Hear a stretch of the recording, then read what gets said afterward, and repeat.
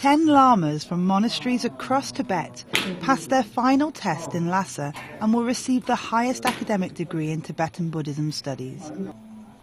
The test, covering the general knowledge of Tibetan Buddhism, Tibetan language and sutra debate, lasted for five days from August 12th at Ganden Monastery. The ten lamas, who stood out from thousands of others, will present a formal dissertation at Jokhang Temple in spring before being awarded the Geshe Larampa, which is the equivalent to a doctorate. Geshe means knowledgeable, and Larampa is the highest among the four ranks in the Gekse system. 95 lamas have been awarded the degree since the test resumed in 2004. The test was suspended after a riot instigated by separatists during the event in 1988.